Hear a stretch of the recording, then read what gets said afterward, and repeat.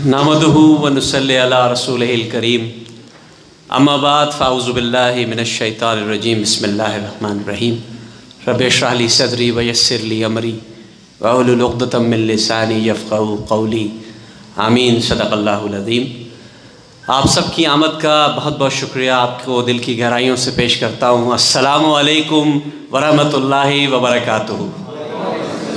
बहुत शुक्रिया। ऐसे ही जानदार जवाब चाहिए क्योंकि महफ़िल को गर्म करने के लिए दोस्तों की जो दाद व तहसीन है, ये बहुत ज़रूरी होती है। आज की इस तकरीब का इनका बज़म सुखन के लिए भी एज़ाज़ की बात है। दरअसल ये बड़ा तवील क़स्सा है, लेकिन मुख्तसर इसलिए करूँगा कि वक्त की किल्लत भी है और हम चाहते हैं कि प्रोग्राम की जो खूबसूरती है और हसन वो बरकरार रहे। मैंने 2016 में अपना पहला प्रोग्राम जब इस्लाम चैनल उर्दू से किया, पहला लाइव शो था। तो उसमें जो पहली कॉल बजी, वो मेरे लिए हमेशा, क्योंकि उसके बाद हज़ारों कॉल्स भी आ जाएँ तो वो कॉल्स की जो अहमियत है वो आज तक रहेगी, और वो फ़रखुंदा बहन की कॉल थी। तो मैं अपने लिए इनको मशले रहा इसलिए समझता हूँ कि पहले दिन से, आज तक इन्होंने मेरे टीवी प्रोग्राम में शिरकत नहीं की, इनकी मजबूरी रही, दूर रहा ट्रैवल आना मसला मसाइल रहे, लेकिन मेरे मुशायरों में शरीक हुई हैं। लेकिन मेरे लिए फ़ख्र और एज़ाज़ की बात यह थी कि इनकी कॉल आई और उसके बाद इनसे जब मेरी बातचीत हुई, इनकी किताबें मुझ तक पहुँची, इन्होंने जिस तरह मुझे गाइड किया, जिस तरह इन्होंने मुझे बताया, उसके बाद बताने की ज़रूरत नहीं थी कि 1980 से इनका जो सफ़र शुरू हुआ और वो शहर इकबाल, सियालकोट से इन्होंने अपना सफ़र शुरू किया, लिखने का काम शुरू किया और बड़ी खामोशी से किसी को ज़्यादा शहरत की तमन्ना होती है, किसी को ज़्यादा ख्वाहिश होती है कि उसको ज़्यादा पढ़ा जाए, ज़्यादा लिखा जाए, ज़्यादा उसके बारे में बात की जाए। लेकिन ये फ़रखंदा रिजवी की मैंने खूबी देखी कि इनके अंदर ये बात और ये कमाल मौजूद है कि ये चाहती हैं कि मैं सिर्फ़ अपना काम करूँ और काम से पहचाने जाऊँ। तो एक दफ़ा भरपूर तालियाँ इनके लिए ज़रूर इसमें होनी चाहिए। इससे पहले लगभग इनकी आठ किताबें आ चुकी हैं तख्लीक खंदा जो है ये असल में मुख्तलिफ़ किताबों में जो इनके चार हिस्से हैं इस किताब के, इसमें मुख्तलिफ़ मजामी भी हैं, मुख्तलिफ़ इनके ऊपर लिखे हुए मजामी भी हैं, जो इन्होंने मुख्तलिफ़ मजामी लिखे हैं, वो भी हैं। फिर इनका एक और पहलू तंज मज़ा के हवाले से है, वो भी इसके अंदर मौजूद है। इसमें एक बड़ी खूबी जो मुझे नज़र आई इस किताब में, आबिद अली बेग साहब, कि इस किताब का इंतसाब इन्होंने जो है अपने दामाद आतिफ मिर्ज़ा के नाम किया है। इसके अलावा नवास ज़क्रिया मिर्ज़ा और नवासी ईमान ज़ुबैदा मिर्ज़ा के नाम भी है। तो एक दफ़ा इनके लिए भरपूर तालियाँ हों। और इन्होंने एहतमाम ये किया कि इसकी सदारत जो है मिर्ज़ा आबिद अली बेग के सुपुर्द कर दी और निज़ामत मिर्ज़ा सुहेल ज़रार बेग के सुपुर्द कर दी। तो एक दफ़ा सारे मुग़लों को इन्होंने जो है ये संभालने की ज़िम्मेदारी दे दी इस तकरीब की। तो अपने सब यार काम कर रहे हैं। और हम हैं कि नाम कर रहे हैं। तो सिचुएशन तो यही है। 1980 से जब इन्होंने लिखना शुरू किया तो जब मेरी इनसे पहली दफ़ा बात हुई तो मैंने इनको कहा, डॉक्टर डॉक्टर फरखुंदा रिजवी। तो उन्होंने कहा, नहीं, मेरा नाम क्या आगे डॉक्टर नहीं लगता, मैं डॉक्टर नहीं हूँ। मैंने कहा अच्छा मुझे ऐसा लगा, इतनी गुफ्तु इतनी किताबें, और इसके बाद आपसे इतनी बातें हुई तो मैं समझा कि शायद आप भी पीएचडी होंगी। आजकल बहुत से लोग पीएचडी हो जाते हैं। होना पड़ जाता है, मजबूरी भी होती है लोगों की। लेकिन हो जाते हैं, माशाल्लाह, बहुत लोग पीएचडी हो जाते हैं। लेकिन खसूसियत जो थी, वो ये थी कि इन्हीं के अपने शहर में दो बच्चियों ने सियालकोट में इनके ऊपर एम और पीएचडी के मकालों के लिए काम शुरू किया और अलहमदिल्ला वो कामयाब हुई हैं। तो इस पर भी एक दफ़ा भरपूर तालियाँ होनी चाहिए। अब जो इनकी किताब है, तख्लीक खंदा, जैसे कि मैंने कहा कि इनकी आठवीं किताब है। इसमें तबसरे तजी और तंज़ो मिजाज सब कुछ शामिल है। लेकिन इसमें माशरे के दुखों को, नसाई जज्बों में रचा बसा कर पेश करना जो है, वो इनका खासा है। जिस तरह इन्होंने उसको पेश किया है, वो कुछ यही जानती हैं और पिछले बयालीस बरस में हर साफ़ गो और सच्चे लिखारी की तरह इन्हें भी मुंतज़र सब मेरे जवाल के हैं, मेरे अहबाब भी कमाल के हैं। ये सिचुएशन का सामना इनको बहुत रहा और रहना भी पड़ेगा, लेकिन इसका जिस बरमला और सच्चा नफासत और तहजीब में गुना हुआ इजहार इनकी तहरीरों में जा बजा नज़र आता है। उसका इन्होंने खंदा ने बड़ी खंदा पेशानी से जवाब दिया है। और वो कहती हैं कि ज़िंदगी में ये हुनर भी आज़माना चाहिए। ज़िंदगी में ये हुनर भी आज़माना चाहिए। जंग किसी अपने से हो तो हार जाना चाहिए। तो बस मैं तो चाहूँगा कि इनकी किताब पर बहुत बात हो, बहुत कुछ हो। इस किताब के अलावा भी जो कुछ इनका काम है आप देख सकते हैं कि इस बोर्ड, दीवार पर एक तफसीली बोर्ड लगा है, सामने भी लगा है। ये सब इनके बच्चों की, इनके बच्चों की मेहनत है और बच्चों की मेहनत माँ की तरबियत का हिस्सा होती है। अगर माँ की तरबियत ना होती तो आज ये पोस्टर्स हमें यहाँ नज़र ना आ रहे होते, इसलिए इनके बच्चों के लिए भी एक दफ़ा भरपूर तालियाँ बजाएँ इस माहौल में रहते हुए उर्दू को इस तरह अपने सीने से लगा कर चलना, इस तरह इसको, इसकी आबियारी करना, इसके फ़रोग के लिए काम करना, ये इन्हीं का खासा है। रेडिंग जैसे इलाके में बैठकर 40 बरस से इनको इस फ़ील्ड में होकर तकरीबन 28 बरस से रेडिंग में रह रही हैं और रेडिंग के लोगों के लिए ये उर्दू की भी खिदमत कर रही हैं और अवामी खिदमत में भी पेश पेश हैं। तो आज इनकी इस किताब की तकरीबन रूनुमाई भी है, इस पर भी बात होगी, मुख्तसर गुफ्तु भी होगी। हमारे दरमियान बहुत अच्छे अच्छे मेहमान मौजूद हैं दूर और करीब से तशरीफ़ लाए हैं। मैनचेस्टर से भी नकबाना कंवल शेख साहिबा आई हैं, और भी हमारे कुछ अहबाब तशरीफ़ ला रहे हैं। कुछ अहबाब को और आना था, लेकिन मजबूरी के तहत वो नहीं आ सके। इसका जो अगला हिस्सा है इन वो मुशायरे का है। और आप सबको ये किताब यहाँ मौजूद भी है, आप उसको ले भी सकते हैं और मैं दरख्वास्त करूँगा कि इस किताब के जो इब्तदाई दो मजामी हैं, वो आप सब ज़रूर पढ़िएगा। जिसमें एक तो असूल जवाबित है और दूसरा है मुशायर ताल्लुक़ आमा की भेड़ चढ़ गए। अब ये बहुत हसास मौजू है, इस पर तो सदर साहब ही तबसरा फरमाएँगे और सदर साहब से दरख्वास्त होगी, आखिर में जब वो इस पर बात रखें तो ज़रूर इसको माने। तो मैं इसके बाद गुजारिश ये करूँगा और दोस्तों से भी कि जब अपनी बात करें तो मुख्तसर और जाम ज़रूर इस पर बात करें, इस किताब पर भी बात करें उर्दू अदब पर भी बात करें। मेरे जो पहले मेहमान जिनको मैं इस किताब पर तबसरे के हवाले से बुलाना चाहूँगा, आप, जिस तरह कहा जाता है ना कि अल्लाह को, अल्लाह ने बरतानिया को बहुत अच्छी तरह नवाजा है। इस हवाले से कि यहाँ उर्दू अदब के भी लोग जमा हुए, पाकिस्तानी सियासत के लोग भी जमा हुए, मजहबी रहनुमा भी जमा हुए, और इन सबसे मिलकर एक ऐसा माहौल बना, एक ऐसा माशरा तश्कील पा रहा है जो मुझे लगता है कि इन अगली नस्लों तक भी मुंतकिल होगा, और ये उर्दू का सफ़र, हमारे दीन का सफ़र, हमारे मज़हब का सफ़र, सियासत का सफ़र, पाकिस्तानियत का सफ़र इन इसी तरह चलता रहेगा। अल्लाह का शुक्र है, अल्लाह ने नवाजा। हमें एक और शख्सियत से पाकिस्तान से तशरीफ़ लाए हैं, नवाज़ खरल साहब। आप एक मजहबी शख्सियत तो हैं ही, मैं इस हवाले से इनको जानता हूँ, तालीमी हवालों से इन्होंने अपनी ज़िंदगी में बहुत काम किया, तालीमी रहनुमा की हैसियत से काम किया। आजकल जज्ब खदमत खल्क से मामूर हैं मुख्तलिफ़ तंजीमों के साथ मुंसलिक हैं। अदब की खिदमत का बेड़ा इन्होंने उठाया हुआ है। कम से कम चार किताबें मुझे मेरे इल्म में हैं कि वो इनकी मुख्तलिफ़ मौजूद पर आ चुकी हैं। आज हमारे पहले मेहमान मैं दरख्वास्त करूँगा। जनाब नवाज़ खलल साहब से की तशरीफ़ लाए और अपनी बात रखें। आपकी भरपूर तालियों में। बसमीम साहब सदर, इंतहाई इज़्ज़त, एहतराम और तोक़ीर के लायक जनाब आबिद बेग साहिब और साहबा शाम, जिनकी मोहब्बत में हम सब यहाँ जमा हुए हैं, जिनकी किताब पे आज बात होगी। मोहतरमा फ़रखंदा रिजवी खंदा साहबा और मोहतरमा नगमाना कंवल शेख साहबा और ख़वान हजरात। हम सब के लिए ये बड़ी खुशी की बात है कि आज हम इस खूबसूरत हाल के खूबसूरत माहौल में एक खूबसूरत किताब पर गुफ्तु करने के लिए और वो गुफ्तु सुनने के लिए जमा है। ये एक कहकशां सिफ्ट महफ़िल और तकरीब है, जिसमें मुख्तलिफ़ शोबा है। ज़िंदगी की बहुत बाकमाल शख्सियात की एक कहकशां सजी हुई है। मैं सबसे पहले बज़म सुखन के रूह रवाँ। मेरे बहुत प्यारे दोस्त, मरूफ, अदबी और इलमी शख्सियत, जनाब सुहेल ज़रार खालिश साहब का शुक्रिया अदा करता हूँ कि उन्होंने आज की इस तकरीब में मुझे गुफ्तु का मौका दिया। ये सुहेल ज़रार साहब बहुत मोहब्बती इंसान हैं और इस दौर में सफ़ीर मोहब्बत होना, मोहब्बतें तकसीम करना, नफ़रतों के इस दौर में ये बहुत बड़ी बात है। इन्होंने बहुत सारे लोगों के लिए तालियाँ बजाई हैं। तो सुहेल भाई के लिए भी तालियाँ बजाएँ। ये इल्म अदब की बहुत खिदमत कर रहे हैं। इस्लाम चैनल पे ये एक अदबी प्रोग्राम करते हैं, उसकी मेज़बानी करते हुए इनको सुनते और देखते हैं तो तबीयत सरशार और निहाल हो जाती है। बहुत खूबसूरत बोलते हैं और अंदर बाहर से खूबसूरत है।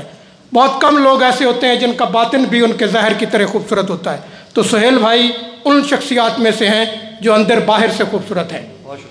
मैं मोहतरमा फ़रखंदा रिजवी खंदा साहबा को उनकी आठवीं किताब की इस तकरीब रूनुमाई के मौका पर मुबारकबाद पेश करता हूँ। आठ किताबें लिखना मैं समझता हूँ कि ये बहुत काबिल कदर और लायक तहसीन काम है। मादियत परस्ती के इस दौर में जब सब लोगों का अवलिन हदफ पैसा कमाना है और उसके बाद इतना वक्त नहीं मिलता कि कोई किताब लिखी जाए या कोई किताब पढ़ी जाए तो इस दौर में आठ किताबें लिखना और अच्छी किताबें लिखना काबिल मुताल पढ़ने के काबिल ये बहुत बड़ी बात है। तो आप एक दफ़ा फिर इनके लिए, मेरी खुशी के लिए तालियाँ बजाएँ। और मैंने इनकी बहुत सारी किताबें पढ़ी हैं। इन्होंने जब मैं पाकिस्तान में था तो बहुत मेहरबानी की, अपनी सारी किताबों का सेट मुझे भिजवाया। मैंने बड़ी मोहब्बत से गौर से उनको पढ़ा। इनकी जितनी तहरीरें हैं, इनकी जितनी किताबें हैं, और इनकी जितनी फ़िक्र और सोच है, उसका मरकज़ और महवर तीन चीज़ें हैं।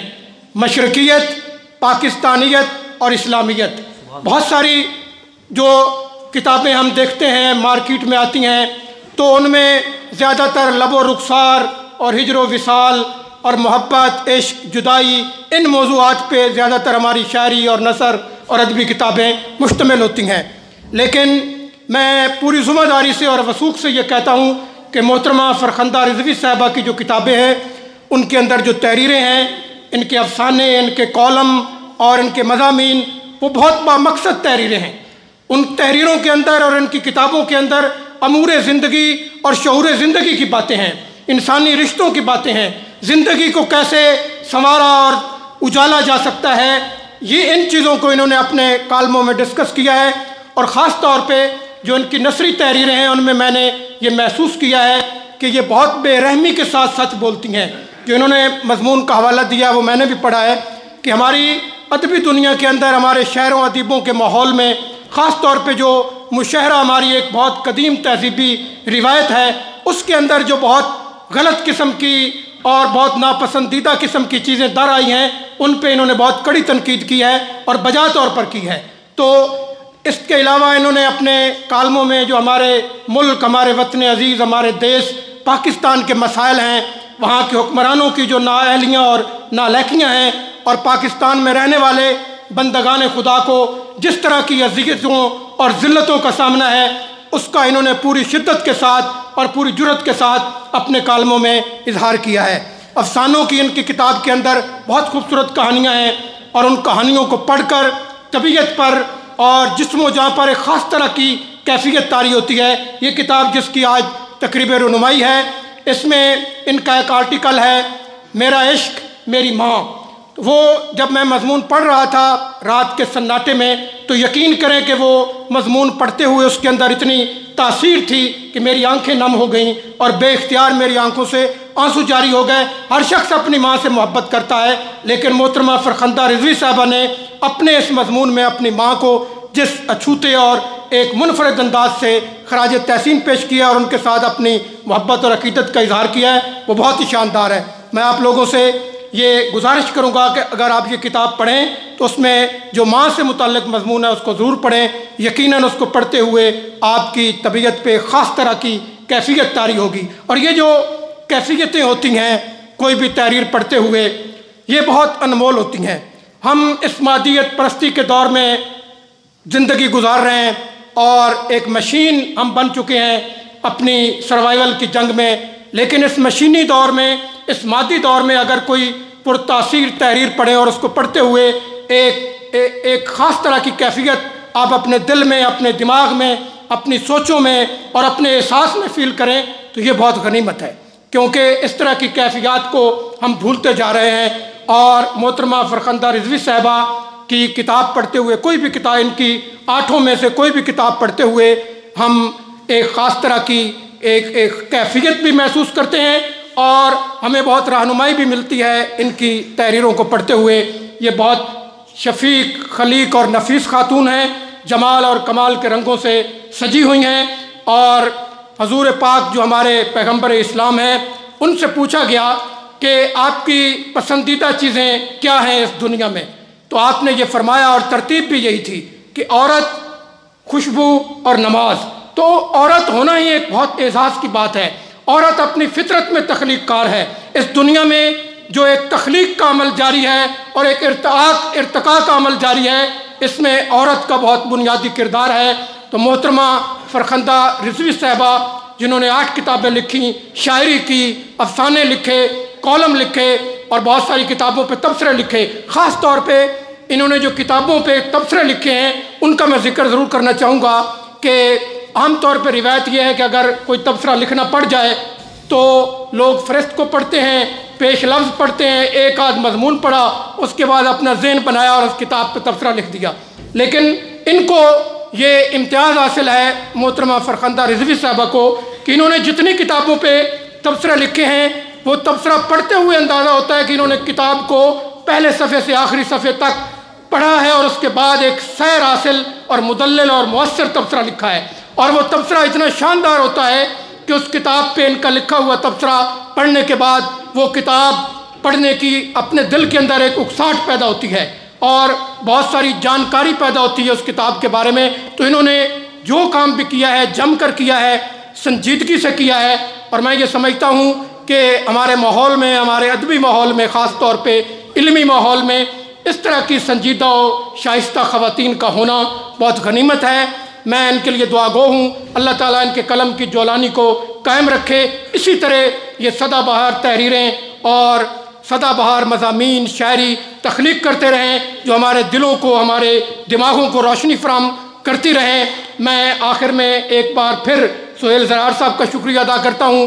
और मोहतरमा फ़रखंदा रिजवी साहबा को मुबारकबाद पेश करता हूँ। इस आठवीं किताब पर भी और इस तकरीब के इनका पर भी मैं, हमारे लिए ये बड़े एजाज़ की बात है। ख़ास तौर पर मैं अपने लिए ये बहुत एजाज़ समझता हूँ कि आज की इस खूबसूरत तकरीब की सदारत जनाब आबिद बेग साहब कर रहे हैं। ये बहुत बड़ी इलमी और अदबी शख्सियत हैं। इस वक्त जो हमारा अदबी मंजरनामा है, उस पर ये एक चाँद की तरह चमक रहे हैं। सीनियर मोस्ट अदीब और शायर हैं। और ख़ास तौर पे इन्होंने पाकिस्तान के कौमी तराना के हवाले से जो एक रिसर्च वर्क किया है किताबी सूरत में, वो बहुत काबिल कदर और शानदार है। तो मैं आबिद बेग साहब को भी खराज तहसीन भी पेश करता हूँ और अपनी खुशी और एजाज़ का भी इजहार करता हूँ कि इनकी सदारत में गुफ्तु करना, इनके पहलू में बैठना, ये बहुत एजाज़ की बात है। बहुत शुक्रिया। वसलम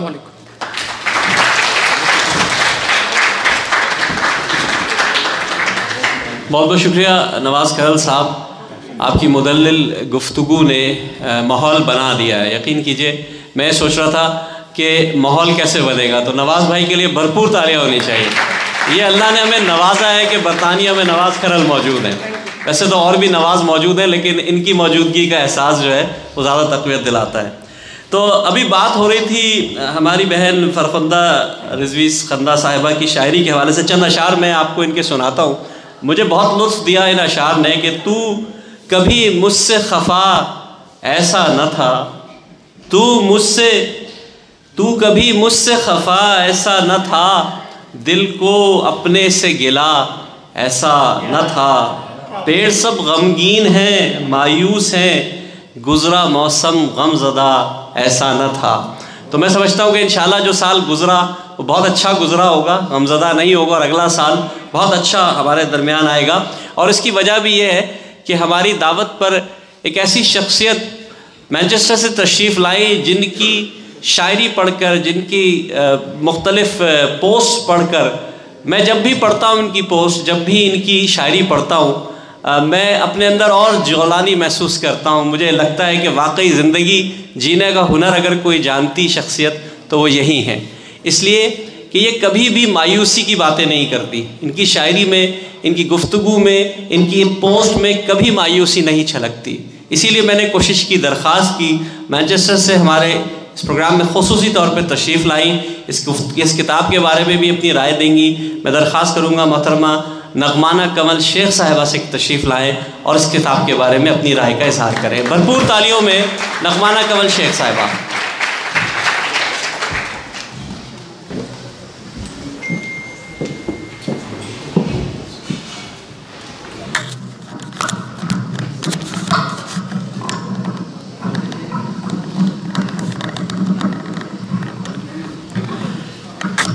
अस्सलाम वालेकुम, रहमतुल्लाहि वरकatuh आप सबको मुबारकबाद सबसे पहले इस बात की दूँगी कि यहाँ माशाल्लाह आज ख़वातीन बहुत सी नज़र आ रही हैं। खिलाफ तो था इस जगह पर कि मैं इतनी, माशाल्लाह इतने चमकते हुए चेहरों को देख सकूँगी। और इतनी मुतल तकरीर के बाद जो कि हमारे नवाज़ खरड़ साहब ने आपकी खिदमत में पेश की है, कुछ कहने का जवाब तो नहीं बनता, लेकिन चूँकि एक मेरी बहुत प्यारी सी बहन जो हैं, वो इस मैदान में बहुत सारे जो हैं, वो चोटियाँ सर कर रही हैं और इस बुलंदी पर पहुँच चुकी हैं। फिर यहाँ पहुँच कर एक और रिश्ता भी निकल आया है कि मेरा जो ननिहाल है और ससुराल है, वो सियालकोट का है। तो हमें ये भी एक कदर मुश्तरक है यकीन ये भी उसी कॉलेज से पढ़ी हैं जिससे मैं, मैंने तालीम हासिल की है। इस बारे में भी इतफ़ाक़ से मैं, ये मेरी कम वक्ती कह लीजिए कि मैं इनकी अभी तक किताब का मुताला नहीं कर सकी। आ, लेकिन जिस तरह सुहेल ज़रार साहब ने अपने पकीज़ा ख्याल का इजहार किया है इनके बारे में और जो चीदा चीदा अशार सुनाए हैं दो चार उससे अंदाज़ा होता है कि बड़ी इनकी जो सोच है बहुत अमीक है बड़ी गहराई तक ये सोचती हैं और इनके दिल में इंसानियत का दर्द भी है और जो हालात हाजरा हैं उससे भी ये अच्छी तरह से वाकिफ़ हैं। तो इन दोनों की तकारीर से मुझे यही अंदाज़ा हुआ, मैं इन ताला जब पढ़ूँगी तो फिर मैं लिखूँगी। इसके ऊपर बाकायदा तबसरा मेरी एक जीना चढ़ती लड़की के नाम से। आप सब देख लीजिए कि मैं एक जीना चढ़ती लड़की हूँ, मैं औरत नहीं हूँ। इसलिए मैं चाहती हूँ कि जितनी भी यहाँ ख़वान हैं, वो अज़म में, हिम्मत में, हौसले में जवान नज़र आएँ और अपने आप को कभी भी बूढ़ा ना होने दें। एज जो होती है, जो इंग्लिश में कहते हैं जस्ट नंबर तो ऐसा ही है। तो ऐसे हालात में यकीनन ये मेरी हम उम्र हैं, माशाल्लाह। हम असर भी अब हो गई और बहुत सारे तल्लुक़ इनसे पैदा हो गए। सबसे पहला तल्लुक़ यही है कि एक अच्छी राइटर हैं और आज इतनी किताबें ऐसे इंसान नहीं लिख सकता जब तक कि अल्लाह ताला ने उसको ये सलाहियत अता ना की हो। और अगर इनके साथ इनका घराना भी शामिल हो तो फिर ये सोने पर सुहागा हो जाता है। बहरहाल ये अल्लाह ताला ने किसी को कोई हुनर दिया है किसी को कोई हुनर दिया है। तो उसको अच्छे तरीके से इस्तेमाल करना, ये भी इंसान का फ़र्ज़ बन जाता है कि अल्लाह ताला ने अगर आपको तालीम और हुनर और ये इल्म अता किया है तो आप आने वाली नस्लों तक वो पहुँचाएँ। और ये हमारे लिए मिशल राह है, मुझे आज बड़ी खुशी हो रही है, क्योंकि हमारा आज का सफ़र ठंडा ठार और काफ़ी तवील था। लेकिन जैसे इन्होंने कहा कि मैं तो मायूसी की बातें करती नहीं तो मैं अभी तो मैं जवान हूँ। तो यही आप सबके लिए भी पैगाम है और जवान होने का सबूत फरखंदा जी भी दे रही हैं। खंदा पेशानी से मिली भी हैं और खंदा जबी से बैठी हुई भी हैं। अल्लाह ताला इनके कलम में और ज़ोर पैदा करे और हमें भी तो हो कि हम इनके साथ इनको आगे बढ़ने में इनका साथ दे सकें ना कि हम हसद करें ना कि हम आ, इनके साथ कोई मुकाबला शुरू कर दें। क्योंकि हर बंदा अल्लाह ने जो पैदा किया वो इंडिविजुअल है। हर बंदा जो है एक दूसरे बंदे से मुख्तलिफ़ है। आप अपनी सलाहियतों को पहचानें मेरी प्यारी दोस्तों आप में से बहुत सी होंगी जो थोड़ा बहुत लिखती होंगी। लेकिन आपको थोड़ा से पुश की ज़रूरत है, अपने घराने की तरफ़ से, फिर ऐसी शख्सियात आपके पास हैं इस शहर में या सराउंडिंग में तो उनसे मदद लीजिए और ये इसीलिए किताबें लिखी जाती हैं कि इनसे कुछ फ़ायदा भी हासिल हो, सिर्फ़ अपने तस्किन के लिए ये नहीं होती हैं। ये आप सबकी तर्जमान हैं, किताबें जो हैं, एक औरत ही औरत के जज्बात को समझ सकती है। और उसको वो हर औरत तो माशाल्लाह 99 परसेंट औरतें होती हैं जो कि माँ होती हैं। आपको अल्लाह ताला ने इतना बड़ा रुतबा दिया है तो अपने आप को कभी भी कमतर ना समझें और अपने आप को हमेशा अठारह साल का समझें। बहुत शुक्रिया। बहुत बहुत शुक्रिया। एक जीना चढ़ती लड़की ये मैं कहना भूल गया था। आ, और ये जुमला जो है ना बड़ा तकवीत देता है। अब मैं अब मैं भी कोशिश कर रहा था लिखूँ एक जीना चढ़ता लड़का लेकिन वो मैंने कहा फिर मुकाबला हो जाएगा, इसलिए मैंने नहीं लिखा, लेकिन बहुत तकवीत मिलती। भरपूर तालियाँ नगमाना कंवल शेख साहिबा के लिए। असल में देखिए, ज़िंदगी इसी का नाम है, ज़िंदगी ज़िंदा दिली का नाम है। इनके अल्फाज में, इनके जो कलाम में जो ज़िंदा दिली नज़र आती है, वो इस बात का बैन सबूत है कि अगर आप शायरी करते रहें, अगर आप अपना अदब से रिश्ता जोड़े रखें तो आप इसी तरह तवाना रहेंगे। बहुत शुक्रिया आपका। दोस्तों, मैं इसके बाद, जिस शख्सियत को दावत दूँगा इस किताब पर तबसरा करने के लिए। वो बड़ी जानी मानी शख्सियत हैं समाजी हवालों से भी उनका बड़ा नाम है। मैं दरख्वास्त करूँगा, जनाब खालिद बाजवा साहब से कि तशरीफ़ लाएँ और इस किताब पर अपनी राय का इजहार करें। भरपूर तालियों में जनाब खालिद बाजवा साहब। बसमीम जनाब खरल साहब की तकरीर के बाद नगमाना की तकरीर के बाद कहने के लिए कुछ ज़्यादा नहीं है। फ़रखंदा रिजवी के साथ एक तल्लक है। एक तो हम रेडिंग से हैं। दूसरा तल्लक सियालकोट की फ़जाओं का है।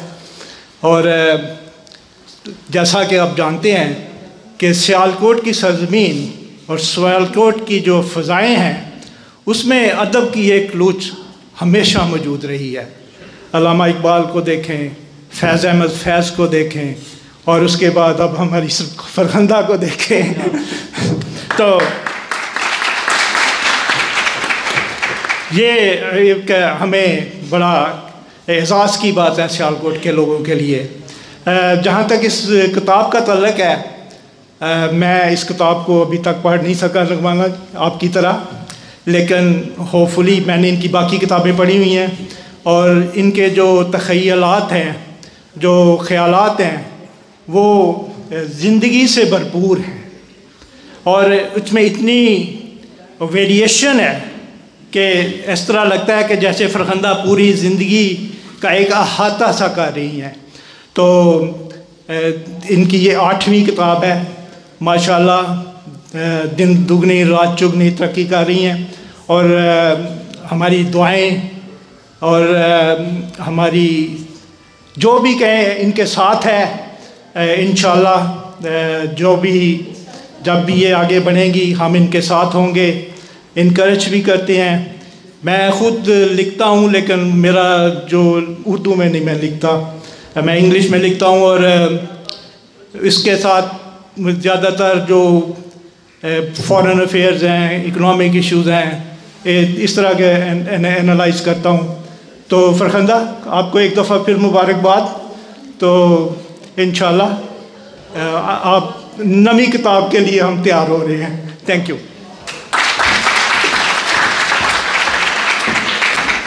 बहुत बहुत शुक्रिया बाजवा साहब आपका। आपने बहुत मुदल बात आपने भी की। ज़ाहिर है, आप इनको जानते हैं इतने अरसे से। और रेडिंग में आप रहते हैं। रेडिंग का एक अलग मिजाज है। यहाँ जो है मैंने तकरीबा बहुत सी तकरीबा में शिरकत की है और हमेशा देखता हूँ कि लोग जौक दर जौक आते हैं। इसके बरक्स मुख्तलिफ़ इलाक़ों में देखते हैं कि वहाँ सिर्फ़ अदब से जुड़े लोग जो, जिनको अपनी शायरी सुनानी है या जिनको अपना मकाला पढ़ना है, वही आते हैं, लेकिन ये बहुत बड़ा कमाल है। तो एक दफ़ा रेडिंग के लोगों के लिए भी भरपूर तालियाँ होनी चाहिए।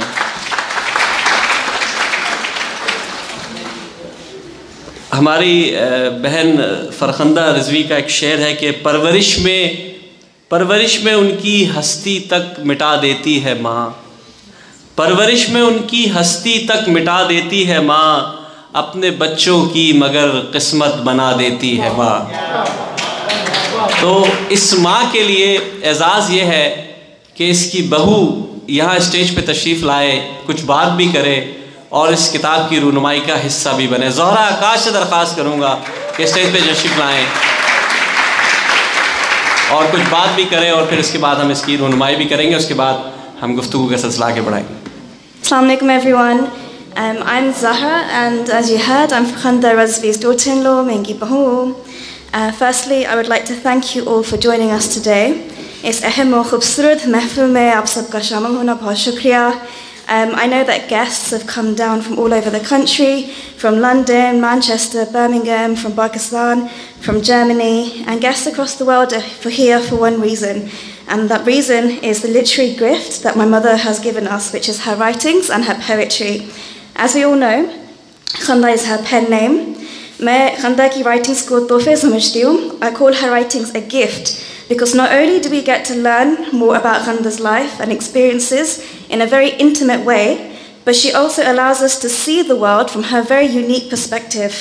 She shares with us the moments in life that inspires her to pick up her pen and lay bare her thoughts. And there is a lot to admire about someone who is so eloquently able to lay bare their thoughts for us to read. There's a kind of therapy in poetry and autobiographical writings but it also requires a special kind of vulnerability. Vulnerability is needed because पढ़ने वाला आपके ख्यालात और आपके ख्वाहिशात जान जाते हैं to feel vulnerable enough to let the world peek into the colourful and vibrant but also the thought-provoking and reflective parts of your mind and that requires a lot of strength which is very very admirable and that is what Khanda's writings lets us do through the most beautiful and musical verses of her poetry and it's not just one book that Khanda has gifted us not just the Khanda, which we are launching and celebrating today, but as you heard, eight books, mashallah, that have been published. And I might as well tell you, there's also so much more that hasn't been published. Her home, mashallah, is filled and filled and filled with files and files of her writings that I hope one day she'll be able to share with you as well. Um, I know we have all looked forward to today and are very keenly looking forward to reading alhamdulillah, uh, the Khanda. I would just like to close and say that we're very lucky to all know Mum as a poet, as a colleague, and as a literary thinker and as a friend. But I consider myself the luckiest as I have the honour to know her as my loving, caring, and extremely talented mashallah mother in law. May we see many more such events where we can come together and appreciate and celebrate the writings of Khanda. And may Allah keep her pen, her qalam always flowing. Ameen. Thank you for joining.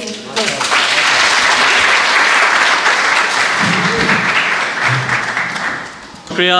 आपका जहरा आकाश आपने, बहुत अच्छी बात की। असल में यही चीज़ देख के खुशी होती है कि जो बच्चे यहाँ पैदा हुए हैं, पढ़ रहे हैं, पल रहे हैं, और वो फिर अगर उस ज़बान से मोहब्बत करते हैं, ज़बान बोल भी रहे हैं, ज़बान के बारे में लोग भी जमा कर रहे हैं, बातें कर रहे हैं, उनकी किताबों को अप्रिशिएट कर रहे हैं तो एक दफ़ा जहरा के लिए भरपूर तालियाँ बताइए।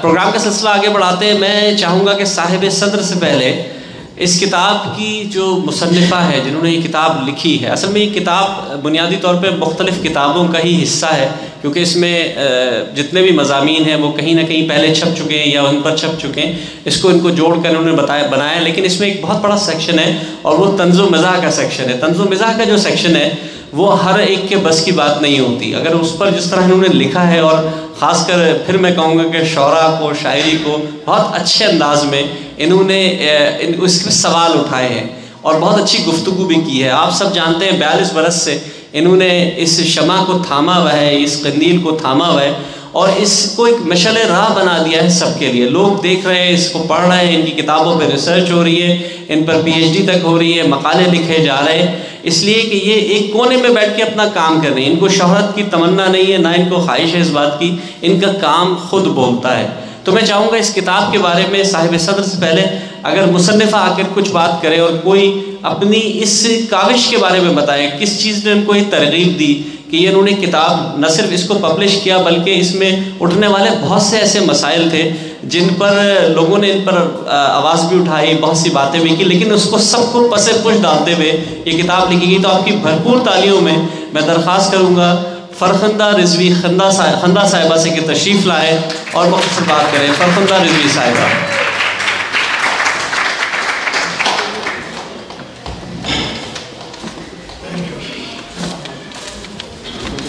थोड़ा नीचे करना पड़ेगा अस्सलाम वालेकुम सबसे पहले तो जमा, यहाँ पे जहाँ, जो भी दोस्त, अहबाब यहाँ पे जिन्होंने शमूलियत की है, उनका तह दिल से शुक्रिया अदा करती हूँ कि आज की महफिल में उन्होंने मुझे एक दफ़ा फिर शुक्रिया अदा करने का मौका दिया। हमेशा की तरह आज भी भरपूर तालियों में सबका वेलकम किया गया और मैं अपने आप को इस काबिल नहीं समझती अभी तक मेरा सफ़र जारी है और इन ताला ये सफ़र जारी रहना चाहिए। कहते हैं, हरफ से मिलकर लफ्ज़ बनते हैं। और लफ्स मिलकर जुमला। फिर जुमलों से मिलकर एक कहानी बनती है, कहानियों के किरदार बुनने के लिए। रिश्तों एहसास और उनके रवैयों की ज़रूरत पड़ती है। ऐसे में तहलीकार का कलम हंदा के साथ मुंसलिक होना तमाम करदारों को एक जंजीर में बुनता जाता है। मेरे 42 साल का ये सफ़र जो तहलीकी सफ़र है, इनमें रिश्तों का साथ रहा।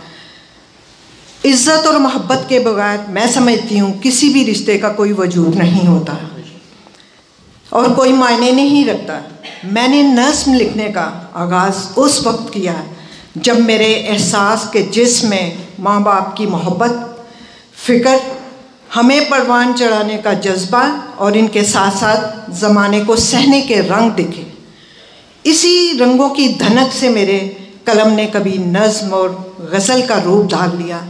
फिर साकन से मुतहरक, मतला, मकता, काफिया, रदीफ, यानी साकन और मथर का खेल खेलते हुए हैजान बुलंदी तक मुझे ले गया। मंजिल तक पहुंचकर वापस पलटना, खुद को दो बार अपनी नई ज़िंदगी के रवैयों से मुतारफ़ कराना, फिर से कलम से निकले लफ्ज़ों को संवारना इन्हें और खूबसूरत बनाना यही ज़िंदगी का हासिल है। काम कोई भी आसान नहीं होता। मुश्किल को आसान करना हमारी ज़िंदगी का सबसे बड़ा इम्तहान है। आज इन तहलीकारों के दरमियान खड़ी, जो मुझसे बहुत बड़े, उम्र में बिल्कुल भी नहीं कह रही। अवध भाई, आपसे कह रही हूँ।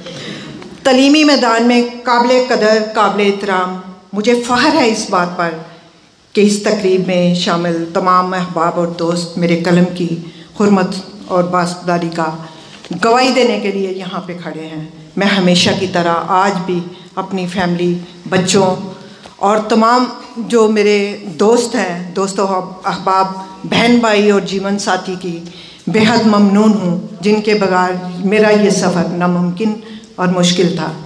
मेरे कलमी सफ़र में ये बराबर के हिस्सादार हैं फैमिली मेंबर मेरी बहू जो आज बेटी बनकर मेरे घर में एक नए मेंबर का इजाफ़ा हुआ, उसने जो मेरे बारे में कहा, मैं बहुत उसके लिए भी ममनून हूँ और ये सफ़र जारी और सारी रहना चाहिए और ये रौनकें जो हैं, बहाल रहनी चाहिए। मेरी तख्लीक का सफ़र जो है, इतने सालों पुराना है कि मुझे आज लगता है कि उम्र का एहसास होने लगा है। मुझे दो रोज़ से थोड़ी सी अपने दांत में प्रॉब्लम हुई तो दर्द का एहसास हुआ कि रिश्ते कितने अज़ीज़ होते हैं, जब तकलीफ़ देते हैं तो उनमें कितना दर्द होता है। तो इन रिश्तों को समझें, अपने कलम में ताकत बने और मैं बहुत ज़्यादा लंबी गुफ्तु नहीं करना चाहूँगी, क्योंकि हम पहले ही हमारा प्रोग्राम थोड़ी ताहिर से शुरू हुआ है और एक बार फिर सबकी शुक्रगुजार हूँ और जहाँ पे सदर इनको तो सदर, मैं कैसे कहूँ, सदर तो पाकिस्तान का है तो सदर महफिल हो सकते हैं। सहेल भाई जो हमेशा से मेरा साथ देते हैं, हर बात में, अदब की दुनिया में, जब से, जैसे उन्होंने पहले भी ज़िक्र किया। तो मेरा कलम, मेरी रवानगी कलम की, मेरी लफ्ज़ों में जो ताकत है, इन सब की बदौलत है। और सबसे ज़्यादा आज खुशी जो मुझे है अपना खर भाई से है, क्योंकि ये पाकिस्तान से तशरीफ़ जब से लाए हैं, ये एक दफ़ा इनवाइट कर चुके हैं मुझे अपने प्रोग्राम में। और मेरे लिए सबसे ऑनर की बात है कि आज नगमाना साहबा भी तशरीफ़ रखती हैं यहाँ पे। हालत भाई के लिए भी बहुत सारी दुआएँ। सियालकोट को बिलोंग करते हैं हम तो तारीफ़ तो बनती थी। सबका बहुत बहुत शुक्रिया। तो प्रोग्राम को आगे बढ़ाते हैं। एक दफ़ा फिर से अपने दोस्तों को, अपने बहन भाइयों को और अपने जीवन साथी को बहुत सारी दुआएँ और बहुत उनकी बेहद ममनून हूँ। शुक्रिया भैया। बहुत बहुत शुक्रिया। आपने इनकी सारी देखी कि किस कदर सादगी थी, मुख्तसर बात की, कोई लंबी चौड़ी बात। बयालीस साल का तस्करा करने के लिए इन्होंने बयालीस सेकंड भी नहीं लगाए। तो इनके लिए भरपूर तालियाँ होनी चाहिए। दो शेर मैं इनके और पढ़ूँगा। मैं असल में जब से इनके अशार पढ़ रहा हूँ, मेरा जी चाह रहा है बार बार पढ़ता रहूँ। राख होने की घड़ी हो जैसे, राख होने की घड़ी हो जैसे, आग सीने में लगी हो जैसे। घर के आँगन में धुआँ है ऐसा, घर के आँगन में धुआँ है ऐसा, मेरी दुनिया ही जली हो जैसे। तो बहुत बहुत शुक्रिया फरखंदा साहिबा आपके बदौलत आज हम इतने अच्छे अच्छे दोस्तों से यहाँ मुलाकात हो रही है। दोस्तों, अब मैं जिस शख्सियत को बुलाने जा रहा हूँ। ज़ाहिर आप सब जानते हैं, साहिब सदर हैं आज की इस महफ़िल के। लेकिन इनका तस्करा मैं पिछले आठ बरस से मुख्तलिफ़ तकरीबात में मुख्तलिफ़ हवालों से करता रहता हूँ।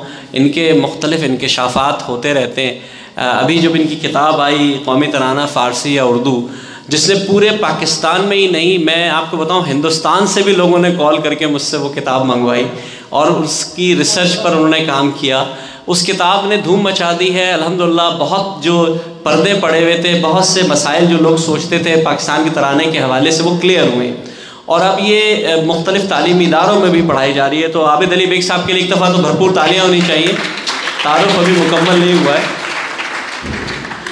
अब आबिद अली बेग साहब लगभग पचास बरस से रेडियो से मुंसलिक हैं। मुख्तलिफ़ आप इनके चीज़ें देखते रहते होंगे, लेकिन आवाज़ की दुनिया का जो सफ़र इन्होंने किया है, मैं समझता हूँ बहुत कम लोगों ने किया हो क्योंकि इन्होंने टेक्नोलॉजी जैसे जैसे आगे बढ़ती रही, उसका भरपूर इस्तेमाल किया। ये नहीं किया कि एक चीज़ को छोड़ के हम आगे नहीं बढ़ेंगे। बहुत से हमारे बुज़ुर्ग ऐसे थे जिन्होंने मोबाइल फ़ोन को अब तक हाथ नहीं लगाया कि नहीं जनाब, हम नहीं लगाएँगे। लेकिन आबिद अली बेग साहब ने इसका भरपूर इस्तेमाल किया और हम इनके शुक्रगुजार हैं अगर ये सब न करते तो वो तारीख का हिस्सा, वो चीज़ें नहीं बनती जो हम रिकॉर्ड पर आ गई हैं।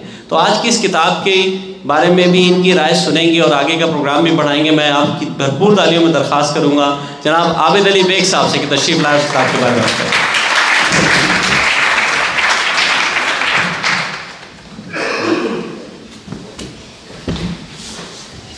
बिसमीम असलकुम मनसब सदारत एक तरह का इम्तहान होता है। ख़ुद साहिब सदर के लिए भी और हाजरीन महफिल के लिए भी। लेकिन आज ये इम्तहान बड़ा आसान रहा है।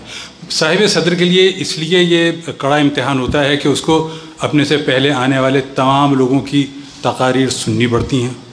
चाहे सुनना चाहता हो या ना सुनना चाहता हो, सुननी पड़ती हैं। और फिर हाजरीन का इम्तहान यूँ होता है कि उन्हें साहिब सदर की तकरीर सुननी पड़ती है, जो कि भारी भरकम अल्फाज, फ़लसफ़ा और पता नहीं क्या के लिए होता है। लेकिन आप सब बहुत खुशकस्मत हैं कि आज की सदारत मैं कर रहा हूँ, जो इन चीज़ों से नावाकिफ़ है। मैं सीधी सादी सी बात करूँगा जैसा कि इन्होंने कहा कि साहब, आज के सदर हैं फना साहब हैं और उनकी तारीफ़ में बहुत सारे इन्होंने अल्फाज कहे।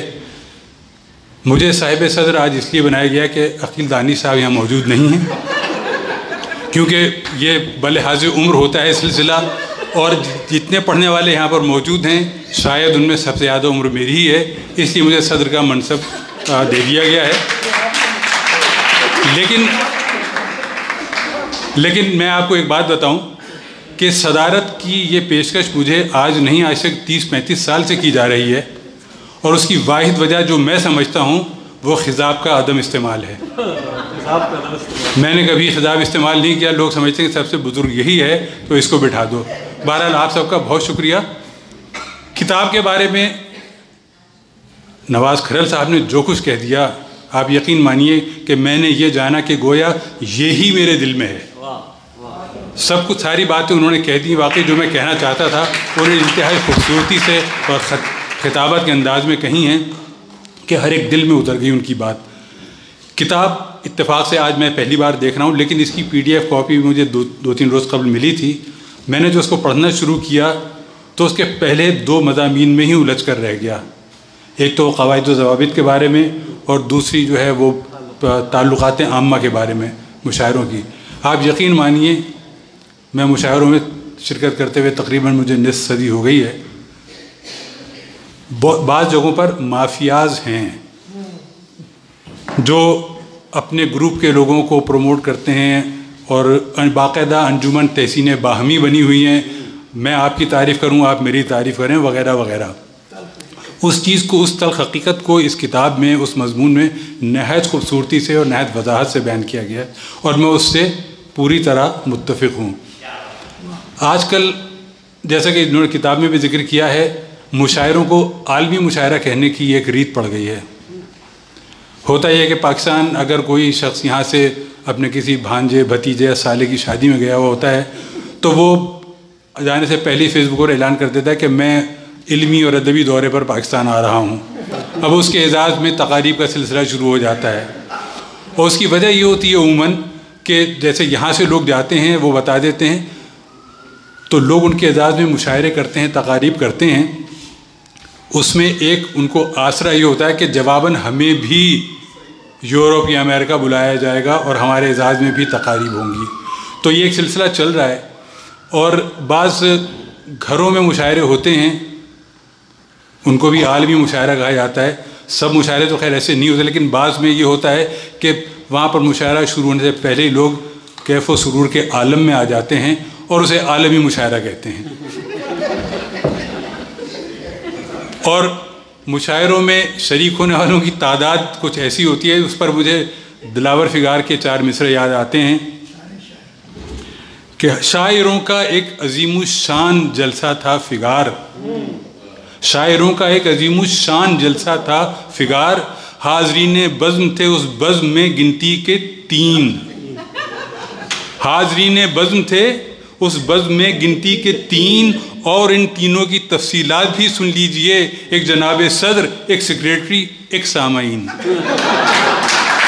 तो उमूमन मुशायरे इस तरह के होते हैं, लेकिन अल्हम्दुलिल्लाह हमारी आज की महफ़िल बड़ी भरपूर महफ़िल है। न सिर्फ़ रेडिंग से लोग आए हैं, मैनचेस्टर से आए हैं, ऑक्सफर्ड से आए हैं, मैं ख़ुद कैंट से आया हूँ। लंदन के बहुत से लोग हैं और बहुत सारे लोग यहाँ पर मुख्तलिफ़ इलाक़ों से आए हुए हैं। तो उन सब का बहुत बहुत शुक्रिया कि तशरीफ़ लाए और वाकई किताब इस काबिल मैंने जो मजामी पढ़े, पढ़कर लुत्फ़ आया और मैं मैं बता रहा जैसे मैंने बताया कि पहले दो मजामी में मैं अटक कर रह गया और मैंने अपनी भी एक इसी से मुतल तहरीर जो है वो मैंने उसका लिंक कल शाम फ़रकुंदा बहन को भेजा, जो उन्होंने सुना और पढ़ा। तो किताब वाकई पढ़ने से लायक है, पढ़ने से काबिल है और हर शख्स को चाहिए कि इस किताब का मुताला करे। इसके अंदर, जैसा कि सुहेल ने पहले बताया कि चार सेक्शंस हैं और चारों सेक्शन का हर एक का अपना जुदा रंग है और हर एक में कमाल की उन्होंने तहरीर की है और ये कोई आसान बात नहीं है। मेरी इस पचास साल अदबी ज़िंदगी में एक किताब शाये हुई है और मैं सोच रहा हूँ कि मैं दूसरी किताब लिखूँ या ना लिखूँ कोई। माशाल्लाह, इनके लिए बहुत सारी तालियाँ कि आज इनकी आठवीं किताब की रुनमाई हो रही है और आइंदा भी इन इस सिलसिला चलता रहेगा। बड़ी हिम्मत का काम है, बड़े हौसले का काम है। तो मेरी तरफ़ से बहुत बहुत मुबारकबाद आपको और तमाम हाजरीन और सामीन, आपका बहुत शुक्रिया शुक्रिया। बहुत शुक्रिया अमित भाई, आप प्लीज़ ज़रा खड़े रहेंगे हम किताब की रुनुमाई भी करेंगे। मैं दरख्वास्त करूँगा जहरा आकाश से और मोहतरबा फ़रखंदा रजवी साहब, साहिबा के अहल खाना से अगर थोड़ा तकरीब तशरीफ़ ले आए आगे तो हम इस किताब की रुनुमाई कर सकें। आपकी भरपूर तालियों में आबिद अली बेग साहब और नवाज़ करल साहब नरवाना कंवर शेख साहिबा, आप भी खड़ी हो जाए प्लीज़ आप लोग भी आगे आ जाएँ, थोड़ा सा, एक दो आप आ जाएँ। जहरा आकाश साहिबा, आप आगे आ जाएँ। 아니죠? 아니요, 선생님.